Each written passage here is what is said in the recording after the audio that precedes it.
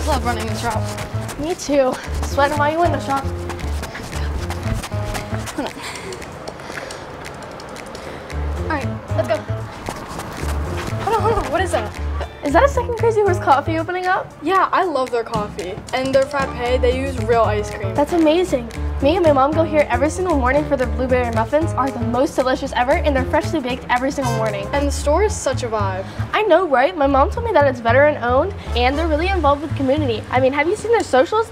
It's amazing. They do huge giveaways too. Really? I didn't know that. Yeah, here, scan the QR code. Yeah, look, it says that they have a special today at their original location. Really? What is it? It says that it's a special blend of blah, blah, blah. I don't know. All I know is that I want it right now. I'm in. Let's go. If you're a fan of Crazy Horse Coffee, we've got some great news for you. Your local caffeine dealers are opening a second location in Donaldson's Crossroads. Now your shopping experience can be caffeine fueled with delicious drinks and homemade food from Crazy Horse Coffee coming to Donaldson's Crossroads this summer.